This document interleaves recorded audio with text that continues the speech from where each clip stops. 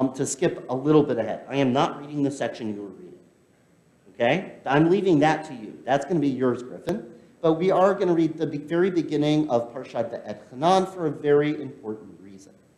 This is a moment that um, Moses is with the people of Israel, and they are standing on the, the banks of the Jordan River, and it, they've been wandering for 40 years, and Moses was reflecting on that experience, talking to, to the kids and grandkids of those who came out of Egypt. I thought, here I am, I've been here for 20 years. That's half of the time. And there is something in what Moses is going to say and this experience that really caught my attention that is part of my blessing and my awareness of what this Shabbat means. Um, and so that's why I am sharing that section. It will make sense in a little while when I get there. I also do want to note that there are two other um, elements as I stand here, because we've read from this Torah with countless students. I've read from these Torah scrolls countless times. Um, but I'm wearing, the talit I'm wearing is actually my talit from my bar mitzvah. And um, the, my parents got this for me probably early 1980s. And when I became bar mitzvah in 1987, my, this was around my shoulders. This was a gift from my parents. I kept it with me all of those years. I didn't wear it very much. Um, finally, when I got into rabbinical school, I needed a talit, so I took it back out. As my children started to get old enough to become bar and bat mitzvah, to become adults in this community, I realized that the tzitzit were starting to fail, that the tzitzit were starting to break off. And so I was also started to get very interested in tying tzitzit. And so for when Anna became bat mitzvah, um, we tied tzitzit. I tied the first one, and each one of my children helped me with one of the other four. So I stand before you on this anniversary as I'm lifting Torah before our community and sharing this moment with Moses, surrounded by my parents, surrounded by my family and my kids. And the last is a yad. This is not just any yad. Griffin, do you recognize this type of yad? What is this type of yad?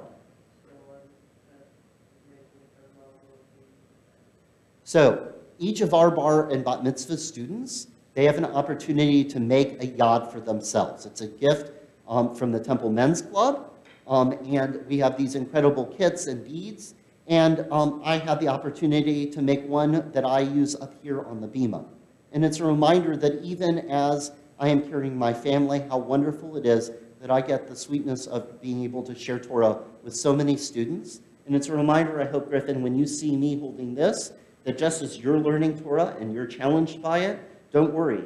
Even your rabbi, been here for 20 years, and I'm still learning Torah and challenged by Torah all the time. And so thank you for joining me for this moment. Are you ready?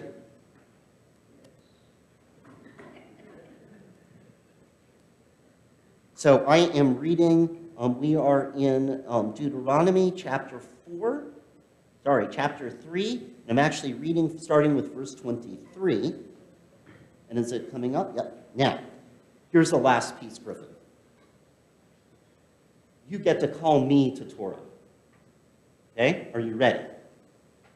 So you're going to repeat after me.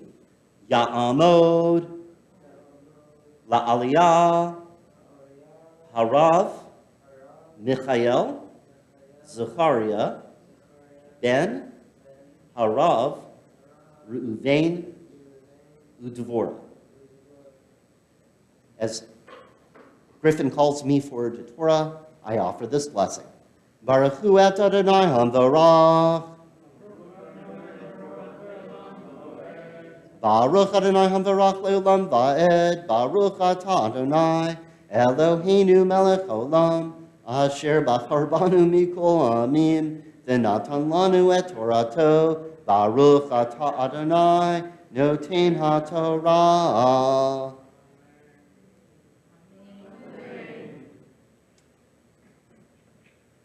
Ve'et Chanan El Adonai.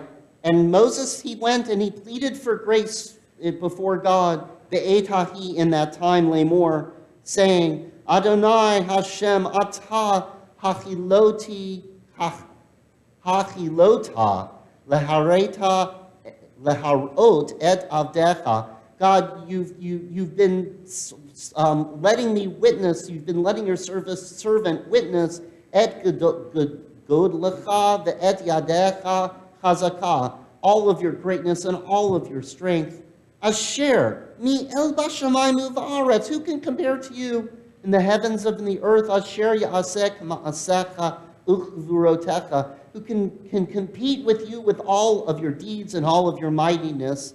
Erbena ve'eret ha'aretz ha'tova asher be'ever ha'yarden. But I plead with you, let me see the land, that good land that we're crossing the Jordan, Hahar Hatov Hazeh, that good mountain that we're going to, Halevnon, and even the Lebanon. The Yidaber Adonai be Lemanchem. Don't, um, don't punish me on their account. Lo, the lo shema Eli. But you didn't listen to me. I, I made this plea to you, God. I, I've done this for you. I've pled for you. I'm worried about what you think of everybody around me. I've come to you. the Lo shema Eli. But, but you didn't listen to me. Vayomer Adonai Eli. In fact, God, you said, Rav lecha el tosef davar Eli. Ode. Don't bring this to me anymore. Stop it. It's enough. Hadavar hazeh. Don't keep bringing this up. Um, Allah Rosh Pisgah. It's time. Go up to the to the to the top of Pisgah. V'sa inecha. Cast your eyes around. Yama v'tzafona v'temna v'mizracha to the to the west and to the north and to the south and to the east. Or eh, and look with your eyes. Ki lo tavor et eh, hayarden hazeh. Because look with your eyes. You know how we say when kids go into a store, look with your eyes, not with your hands? God says that. It's like, stop talking, Moses. Look with your eyes, because you are not going into that land.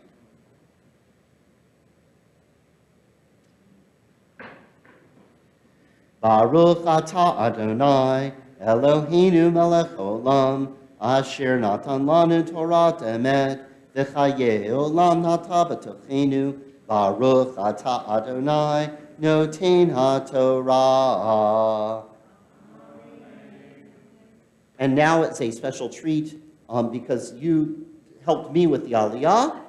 Griffin, and you can take one to your dad too, he gets the pomegranate pucker. And Griffin, thank you very much. I'm going to have you head down. I will need help in a couple of minutes as I lift and dress the Torah. Um, but before I do, I'm going to share a little bit, both about that Torah portion, but also my blessings as I stand before you. Um, the portion is quite extraordinary because there's Moses and he's 40 years and he's saying, God, let me into the land. Um, there's an incredible commentary, and it comes from Rashi. Um, what Rashi says is um, there are two different interpretations. One of them is one you hear from parents all the time. When your, parent, when your kids come to you and say over and again, can't you do that for me, please? Can't I have one? Right? You've heard that before. And what does God say? Rav stop. You've, it's enough. You've, you've said it plenty of times. I've heard it. It ain't going to happen. Rashi says, yes, that's one of the interpretations. But there's another interpretation that I find so fascinating. Rav lecha. Don't worry, Moses. There's plenty here. God isn't telling Moses to stop talking about it out of aggravation or annoyance. God says, You don't have to say any more, Moses. You aren't going into the land, but it's not punishment, it's the way things are. But Moses, you've done Rav Lecha. There are so many things that you have done. There is so much merit that you have.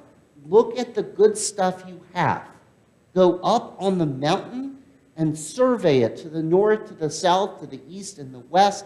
Look at all of these children of Israel You've brought them across the, the wilderness. You've led them through all of these challenges. You might not go into the land, but you are sending blessing with you. And that is extraordinary. It really made me pause. It really made me think as I stand before you on this, the 20th anniversary of my arrival. I'm only halfway there. My first thought was, I wonder what it's going to be like 20 years from now, where I'm going to be, where you all are going to be, what this congregation might look like. Made me think about Moses. What was Moses like after 20 years? How was his singing? Remember, you know, I've never pointed that out before. As much teasing as I get about my, my singing voice, Moses was at a speech issue. In fact, he even said, I can't really advocate for the children of Israel because I don't speak very well. And God sent him anyway. I don't sing very well, and yet God sent me anyway. Just saying, folks. I wonder if at 20 years of the wilderness, he felt more comfortable in front of a, in front of a community.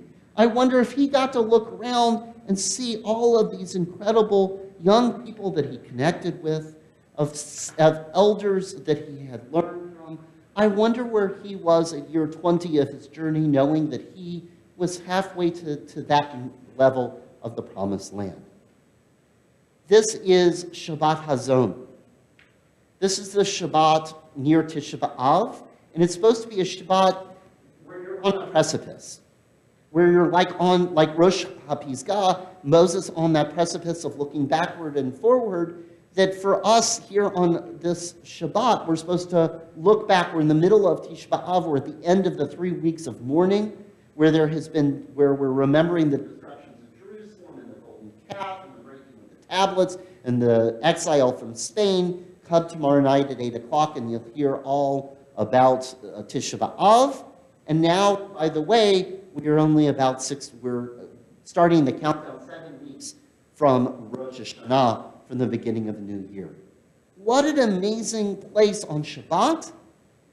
What an amazing place in our Torah where I'm see in multiple places, in multiple ways, where I'm watching that we stand and we look out and we survey.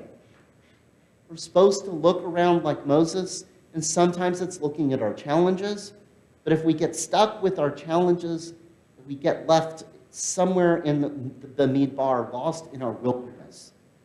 But then I read that second commentary from Rashi, Rav Lecha, of don't worry. There have been challenges, there have been moments, but what you're doing is worthwhile. What you're doing is making an impact. Keep going, Moses. You might not get the people all the way to the promised land, but the Ruach and Koach, the spirit and strength that you carry forward, makes an impact and allows the people of Israel to get to that promised land. I stand before you with two prayers on my lips. One of them is Birkat HaGomel.